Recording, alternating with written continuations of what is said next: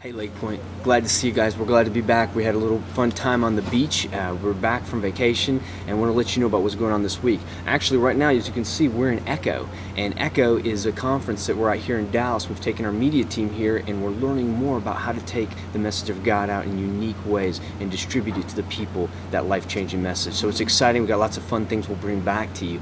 Um, what I want to tell you about this weekend is we're going to continue with superheroes. Um, man, how many parents out there? Do you want to be an incredible parent? What does that look like? That's what we're going to talk about this weekend as we continue in superheroes and how to be incredible, how to be that incredible parent. Also, want to let you know that Neo's directly after service. We're going to provide lunch again. If you uh, don't know about Lake Pointe and our core values and what we're really about, it's a great opportunity for you to come, interact with us, and ask questions. So look forward to being a part of that. That will be directly after service. And if you haven't been by the building, man, you need to go by and check it out. We've got the youth hangar is just about done, I'm understanding, and we got drywall rocking and rolling. So um, exciting things happening.